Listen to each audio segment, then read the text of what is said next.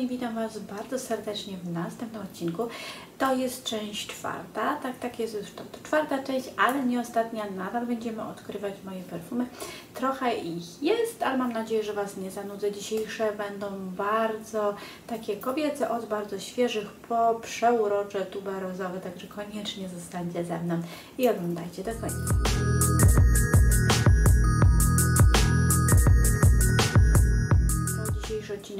Kolejny, odsłona kolejnej dziesiątki moich zapachów. E, Mam nadzieję, że polubiłyście tą serię tutaj zapachową, e, tą serię właśnie z mojej szafy i dzisiaj zapraszam Was w podróż następnych 10 perfum.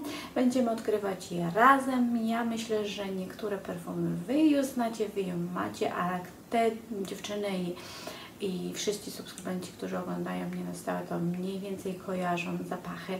E, no ale nie rozgadując się, przystąpmy do odkrywania. Pierwszym zapachem będzie bardzo świeży słodziak, taki moskino z mojej przecudnej kolekcji Toy. E, powiem Wam, że ja go kupiłam zaraz po jego wkroczeniu na rynek.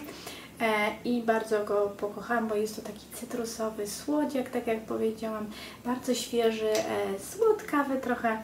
E, i bardzo taki minimalistyczny, może nie minimalistyczny, ale niezobowiązujący, więc możemy go używać zawsze, niezależnie właśnie od pory roku, ja bym tak powiedziała, bo jest takim bardzo klasycznym, świeżym, słodkim zapachem, otulającym, ale też bardzo energetycznym. Ja mam e, takie wspomnienia z nim związane z latem, bo kupiłam go latem. Przymierzałam się, żeby go kupić właśnie kiedy podróżowałam do Grecji. Mm, Stwierdziłam, że a może się wstrzymam, no ale jak wracam już się nie mogłam powstrzymać i jest w mojej kolekcji. Słuchajcie, ja Wam przedstawiałam w którymś filmie e, Bubblegum. E, on jest zupełnie inny i właśnie em, przywodzi na myśl dzieciństwo. Ten jest taki e, bardziej świeży, bardziej, e, bym powiedziała, klasyczny, trochę minimalistyczny. No ale myślę, że dla każdej z nas, jeżeli chcemy tą taką słodką nutkę i zbieramy też butelki obudzić w nas, E, Następnym zapachem, do którego mam duży sentyment i jego e, cały czas używam, to jest seria Chanel Boutique'owa w przepięknych takich flakonikach. To jest 40. Ona się nazywa Paris Venice. Przecudny, przecudny zapach, bardzo pudrowy, bardzo taki waniliowy, kremowy, szampański. Ja go bardzo uwielbiam. Ja go dodaję sobie tutaj w nadgarstkach i otwiera mnie właśnie na cały dzień. E, Daje taką klasyczność, e, wyśmienitość, nieszablonowość. Em, A kto lubi takie pudrowe zapachy, to pewnie go polubi. E, Ja Wam go przedstawiam w specjalnej serii tu butikowej. Jak macie ochotę odświeżyć sobie nuty zapachowe, to serdecznie Was zapraszam. E, Ja widzę, że takie niszowe zapachy, trochę Chanel czy Wam e, te, po, em, te odcinki się średnio podobają, ale tak jak mówię, one są wyspecjalizowane właśnie w odkrywaniu takich nietypowych zapachów butikowych, ale ja Wam gorąco polecam tą serię. Nie wszystkie zapachy są warte kupienia, ale no to jest rzecz też, też gustu. Em, tutaj przyniosłam też nowy zapach tuberozowy, on nie był szeroko omawiany na moim e, kanale. Zobaczcie jak on jest pięknie podany, to jest wersja, taka kolekcja premier e, i to jest tuberos e, la jour.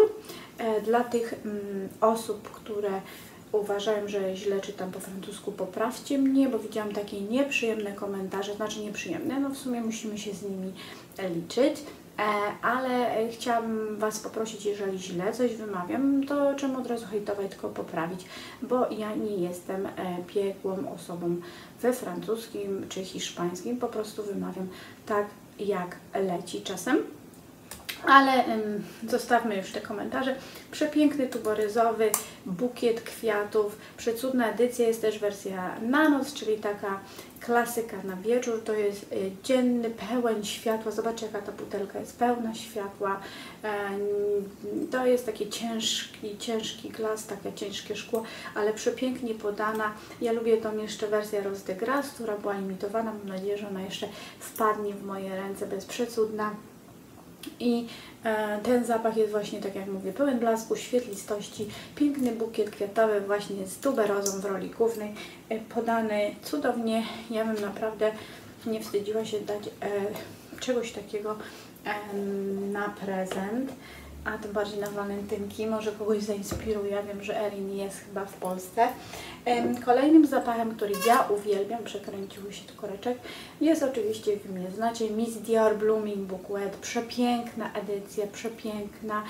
E, ta majowa róża, ta bergamotka, to wszystko takie mega cytrusowe, świeże.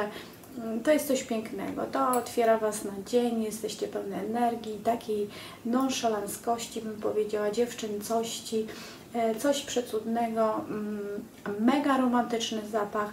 Ja powiem Wam, że to jest nie pierwsza butelka. Jeśli oglądacie mnie, to wiecie, że ja go polecałam zawsze wszystkim, jeżeli lubią takie świeżaki, bo to jest zapach ja uważam, że jeżeli oni go wycofają, tak jak Miss Dior Sherry, to zrobią wielki, wielki błąd. Przepiękna, przepiękna edycja, tak jak mówię, pełna romantyzmu i feminizmu. Feminizmu, może nie feminizmu, ale właśnie takiej mega kobiecości. Kolejny zapach, który ja uwielbiam i słuchajcie, no jeszcze nie mamy lata, jeszcze nie mamy na dobre wiosny, ale taki wprowadzający nas w błogi. Stan, jesteśmy na wyspie albo jedziemy gdzieś na egzotyczne wakacje. E, z tym e, kokosowym mleczkiem w środku, z kwiatem tiary.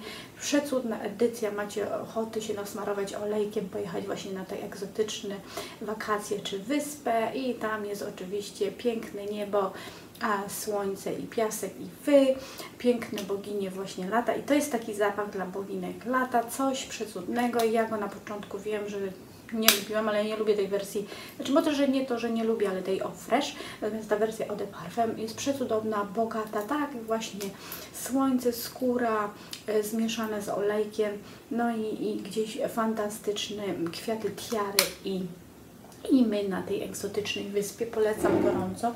Ja wiem, że to jest jeden z najbardziej popularnych zapachów Estée Lauder, zwłaszcza na lato, ale te, kto chcą mieć to lato stale, takie lato w butelce, to mm, serdecznie zapraszam, żeby sobie je kupiły albo po prostu może mają już w kolekcji. Następny zapach e, to jest Zara Temptation, Red Temptation. Ja zrobiłam specjalny odcinek o tym zapachu, porównując do Baccara 54 540, przepraszam, e, bardzo nietypowy zapach z takimi żywicami. Jest uważany za duplikat tutaj em, Baccara 540. Oczywiście on jest bardziej płaski w porównaniu, ale jeżeli chcecie dowiedzieć się więcej, zapraszam serdecznie do tego odcinka, takiego już bardziej omawiający ten zapach. Em, e, bardzo mam taki sentyment do tego zapachu. Mało go używam, słuchajcie, bo jednak em, poluję nadal na Baccara 540 E, i pewnie go sobie kupię, ale rozważam tą cenę, bo dla mnie to jest bardzo, bardzo wyszukana cena.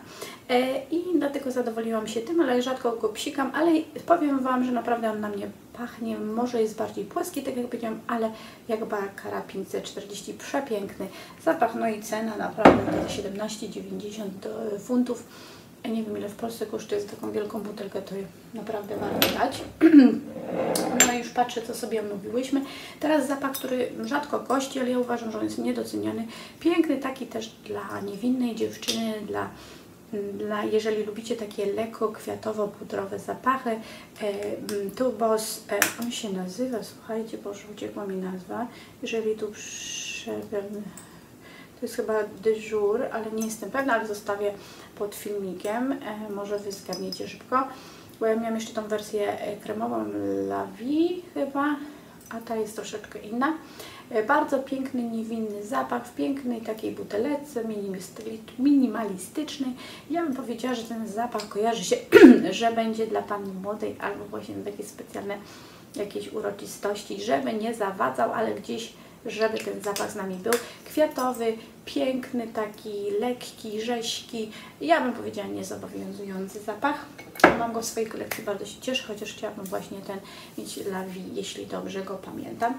No i pełny splendoru tutaj, łąka, kwiaty i my romantyczne, bardzo dziewczęcy. E, zapach, muszę go sobie przypomnieć, Hmm, przepiękne. Wiosna od razu, słuchajcie, marka Jacobsa, Dot. Mi ta Dot zginęła, jak widzicie, ale nawet dla tego cudownego flakonu warto go mieć w swojej kolekcji. On jest też niezobowiązujący. Jest to zapach bardzo kwiatowo-cytrusowy, świeży. E, macie poczucie takiej śmiałości, świeżości. i zdobywanie świata, a zwłaszcza dla osób młodych duchem polecam przecudny zapach. Naprawdę ja się tak cieszę, że go mam w tej kolekcji, ale ja sobie kupię jeszcze jakąś inną mm, buteleczkę z Majeka Jacobsa, bo ja uwielbiam zbierać jego butelki. Kolejny świeżak, słuchajcie, który ja bardzo e, używam, to jest specjalny taki, tutaj jest owoc e, juja chyba się czyta, a taki cytrusowo-bergamotkowy, bardzo świeży, ja go sobie używam na początek dnia, czasem mieszam właśnie e, tu z Chanel e, Venice. E, coś pięknego, taki typowy świeżak, chłodny, taki kojarzący się z błękitnym niebem i, i my wchodzący prosto spod prysznica. Cudowna edycja, mam tu wersję tej mniejszej od Ecologne i ja myślę, że ona była limitowanką, jej chyba już nie ma, ale kto ma, bardzo serdecznie polecam, cudny zapach. No i na koniec, na koniec. Odcinka zostawiam sobie piękną kobiecą szpilkę, my seksowne femme fatale, ten piękny kawowy, ostrzejszy zapach, taki lekko pudrowy, chociaż on nie jest pudrowy, on jest bardziej taki spicy, bym powiedziała, przez tę kawę i ton kabin. E, to jest wersja, słuchajcie, taka wyszukana w tej brokatowej szpilce, jak koniecznie chciałam mieć właśnie w tej odsłonie, chociaż on jest tak samo jak e, Good Girl e, ta w granacie. Oczywiście to jest Karolina Herrera. Ja wiem, że wiele z Was ma też tą szpilkę u siebie, także mm, no powiem Wam, no wyjątkowa edycja, wyjątkowo to wygląda, aczkolwiek zapach używam bardzo rzadko, lubię tą, tą mieszankę kawy, ale czasem wydaje mi się, że mnie przytłacza. Przeleciało te 10 zapachów, tak ekspresowo dzisiaj, nie chcę Was sanucać. Koniecznie powiedzcie, które z nich goszczą na Waszej toalece, do których macie sentyment, a może macie jeszcze jakąś inną edycję. Koniecznie mi opowiedzcie tym bosie, jeżeli kojarzycie mm, tą wersję, o której mówię, kremową. Zapraszam oczywiście Was wszystkich do subskrybowania e, zarówno tych nieśmiałych, jak tych śmiałych. Zostańcie ze mną, kliknijcie ten magiczny guzik, no i oczywiście do lajkowania i dużo, dużo komentarzy. Ja uwielbiam odpisywać, nawet jak chwilowo nie mam czasu, to zawsze staram się do Was zajrzeć i podzielić moimi spostrzeżeniami. Życząc Wam miłego dnia, zapraszam do odcinków, które są już na kanale, no i oczywiście do nowego i do zobaczenia.